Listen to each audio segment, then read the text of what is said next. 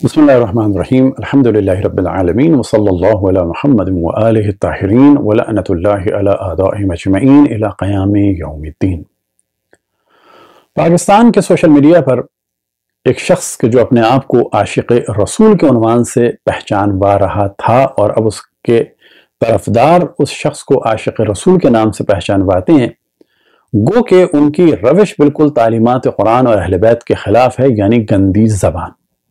जी हाँ और उनका नाम है खादिम रिजवी। इन खादिम रिजवी साहब की गालियों से सोशल मीडिया भरा हुआ है।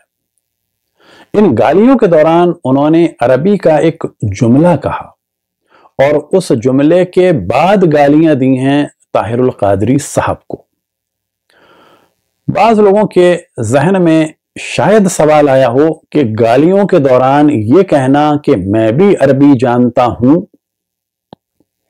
मुझे भी पता है कि उमसुस क्या सीगा है, यानी क्या वर्ड है। और बजर के ऊपर जो जबर है, यानी फतह, वो क्यों है?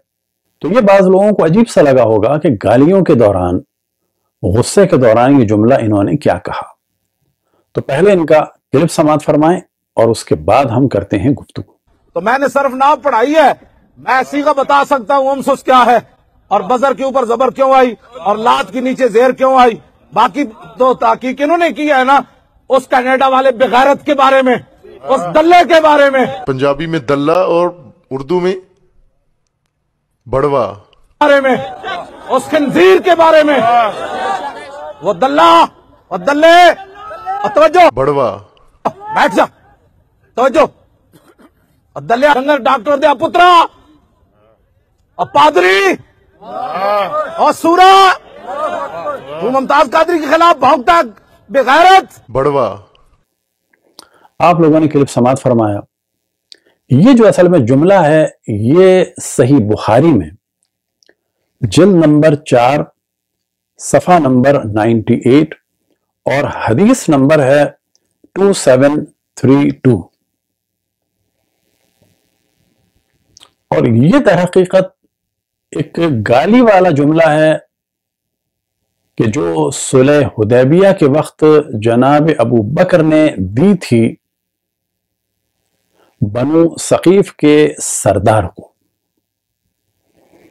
और वो गाली ये थी उम उमसुस बजरल्लात। और तर्जुमा यह है कि तू लात। लात जो एक बुत था, असल में वो था नहीं, थी, यानी वो देवी थी। उसकी शर्मगाह को चूस। तो आपके सामने सही बुखारी है, जिल नंबर चार, सफ़ा नंबर 98 हदीस नंबर 2732 और ये तवील हदीस है, इसके फिर सफ़ा नंबर 100 पर। नीले से हमने हाईलाइट किया है कि क्या बात हुई कि जो जनाब अबू बकर को बुरी लगी। लेकिन बात जिसने कही, उनका नाम था उर्वा इबन मसूद। उर्वा इबन मसूद ने एक बात की जो बिल्कुल ठीक बात की। वो इन लोगों का माजी भी जानते थे और मुस्तकबिल को देख रहे थे। लिहाजा उन्होंने क्या कहा? कि वो बताना चाहते थे कि हम मारे गए आपके ज़रिए से, यानी रसूल अल्लाह सल्लल्लाहु अलैहि वसल्लम से कहा तो ये बुरा होगा और ये एक पहली मिसाल होगी कि कोई अपने कौम कबीले वालों को कत्ल कर दे। लेकिन अगर दूसरी बात वाक़ हुई, यानी हम आप पर गालिब हुए तो मैं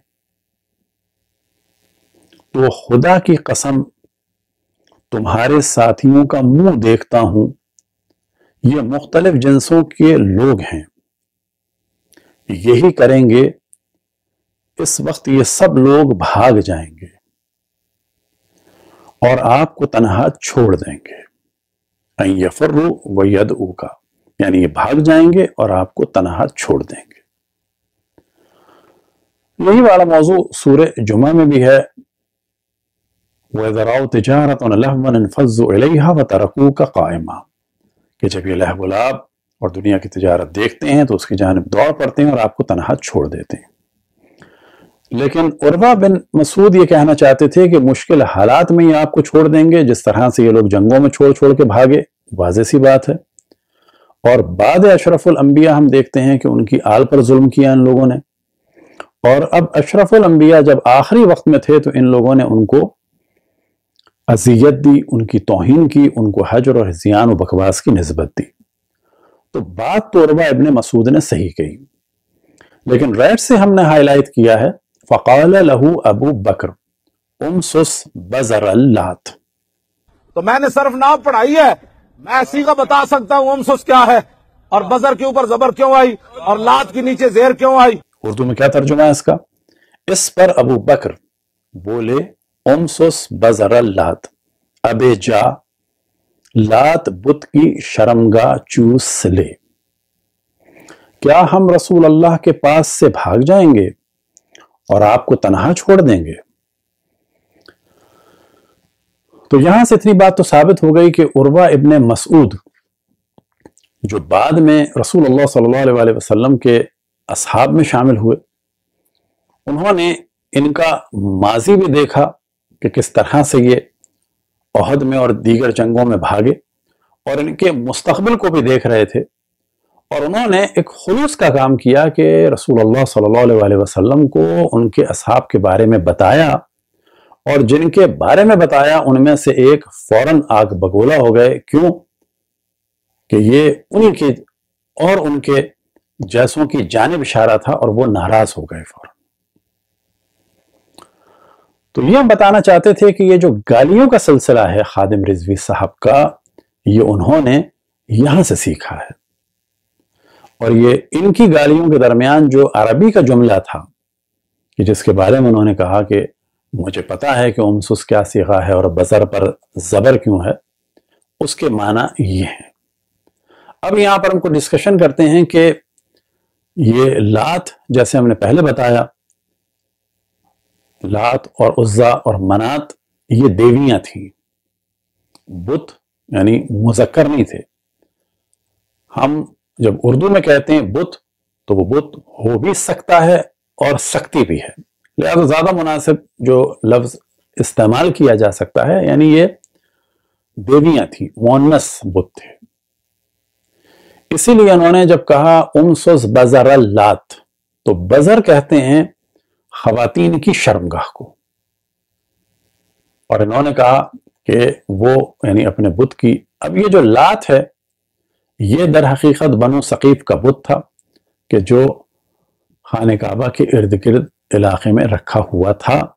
अब क्योंकि ये बनो सकीफ से थे तो जनाब अबू बकर ने उनको जो गाली दी, वो उन्हीं की बुत की मुनासिबत से दी। ये वाक़ है सुलह हुदैबिया का। इसके बाद वक्त गुजरा और ये लोग मुसलमान हो गए। अब ये बनो सकीफ से थे। तो यहाँ पर बताते चले कि उर्वा बिन मसूद के बेटे थे अबी मुर्रा। अभी मुर्रा की बेटी थी लैला और हज़रत लैला की शादी हुई इमाम हुसैन सलाम से और उनसे फर्जंद हुए हज़रत अली अकबर। यानी ये उर्वा इबन मसूद हज़रत अली अकबर के नाना यानी अबू मुर्रा के वालिद हैं यानी पर नाना है और अबी मुर्रा के यानी हज़रत अली अकबर के नाना के सगे चचाजाद भाई थे जनाब मुख्तार सकफी बस ये उसी खानदान के हैं अब जाने तवज्जो दिलाएँ कि ये बाद में इंतहाई बाईमान और रसूल अल्लाह सल्लल्लाहु अलैहि वसल्लम से इंतहाई क़ुरबत रखने वाले असहाब में शामिल हुए। अब हम बताते चलें कि ये रसूल अल्लाह सल्लल्लाहु अलैहि वसल्लम के अहम तरीन असहाब में शामिल हुए।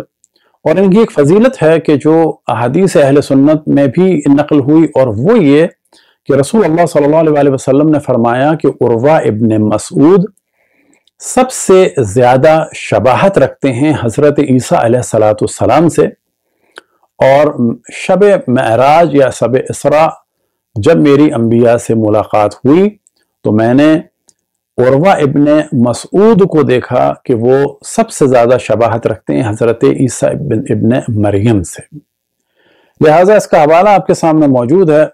अलमुसनद इमाम Ahmad ibn Muhammad ibn Hanbal और जुज है नौ और सफ़ा नंबर है फाइव सेवन एट। तो हदीस नंबर है one zero seven seven four और यहाँ पर यही वाला मौजू है कि जब बैतुलमुक़दस में मेरी शब इसरा मुलाकात हुई अम्बिया से तो उसमें हज़रत ईसा सलाम को मैंने पाया कि वो सबसे ज़्यादा शबी थे हज़रत उर्वा बिन मसूद से। यही वाला मौजू है मिन मरवियात इमाम अहमद इबन हम्बल फिर तफसीर में और सफ़ा नंबर है चालीस और हदीस नंबर है सिक्सटी सेवन और यही वाला मौजू है बहर ज़खार में, कि जो मरूफ है मुसनद बजास के नाम से, और सफ़ा नंबर है 241 और हदीस नंबर है 8689 और यहाँ पर भी यही वाला मौजू है कि शब महराज या लैला इसरा में मेरी जब अम्बिया से मुलाकात हुई तो मैंने पाया कि उर्वा इबन मसूद सबसे ज़्यादा शबाहत रखते हैं हज़रत ईसा इबन मरियम से। तो ये जो बाज़ दफ़ा गुफ्तु चली खादिम रिजवी साहब की कि वो तोजीहत पेश करते थे अपनी गालियों के बारे में, कि कुरान में भी गालियाँ हैं और माजल्ला माजल्ला रसूल अल्लाह को भी नस्बत देते थे तो वो तो हम नहीं मानते। हाँ अलबत्ता वो ये कह सकते हैं कि जिन गालियों का वो इस्तेमाल कर रहे थे, उनमें से एक गाली के जो उमूमन तर्जुमा होकर लोगों के सामने नहीं आ पाई, वो वो गाली थी जो जनाब अबू बकर ने। सुलह हुदैबिया के मौके पे कुफार के एक नुमाइंदे, कुफार क्रैश के, बनु सकीफ के नुमाइंदों में से नुमाइंदे के जो बाद में असहाब में शामिल हुए और उनका नाम था उर्वा इबन मसूद, उन्हें ये जुमला कहा था उमसुस बजरल्लात यानी जो बुखारी में तर्जुमा किया है अबैजा बुत लात की शर्मगा चूस ले। दुआ के खुदाबन तबारक वाली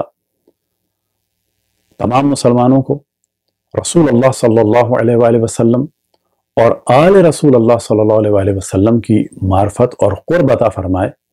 और ये तोफ़ी अता फरमाए कि वो जाने कि रसूल अल्लाह सल्लल्लाहु अलैहि वसल्लम के साथ क्या हुआ और उनके बाद उनकी आल के साथ क्या हुआ। और खसूस उनके आखिर वक्त में किस तरह से उनको अजियत दी गई और उनको हजर और हिजियान और बकवास की नस्बत दी गई। यानी कौल रसूल अलैहि वसल्लम को कहा गया कि ये बहकी हुई और माज अल्लाह माज अल्लाह दीवानगी की बातें कर रहे हैं। वसल्ला महमद ताहिरीन।